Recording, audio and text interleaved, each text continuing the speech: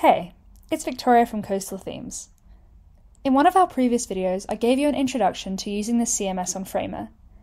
In this video, I'm going to show you how to pull your CMS content into your designs. We created a blog with five sample blog posts. If we go back to pages, you can see we now have a new page called blog. This is a listing page for all our new blog posts. Nested within this, we have our blog post template. All this content will automatically pull from our CMS. When we click on a field, we can see that the content property now has a plus icon, which allows us to change the variable of where the content is coming from.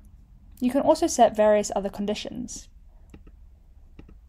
Bear in mind that anything you add to this page which isn't corresponding to a field within your CMS will look the same across all your blog posts. And there you have it. That's how your blog posts are pulling into your designs. You're now able to adjust the visual look and feel of each of these pages to get the template you want.